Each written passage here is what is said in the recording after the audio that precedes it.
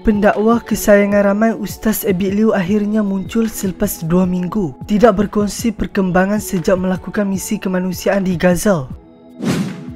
Sebelum kita lanjutkan dengan isu kali ini kepada anda yang belum lagi subscribe apa kata anda subscribe dan tekan butang loceng untuk notifikasi video selanjutnya.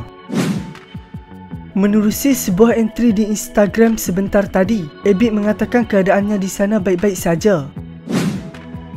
Tulisnya, doakan ya, Alhamdulillah semuanya dalam keadaan baik. Semoga menjadi asbab kebaikan. Rata-rata meluahkan rasa syukur dan mendoakan agar urusan Abid di negara itu dipermudahkan. Terdahulu kali terakhir Abid mengemas kini Instagramnya adalah pada 27 Mei lalu. Perkara itu sekaligus membuatkan orang ramai bimbang kerana Abid sebelum ini merupakan seorang yang aktif memberikan perkembangan mengenai aktiviti kemanusiaan yang dilakukan.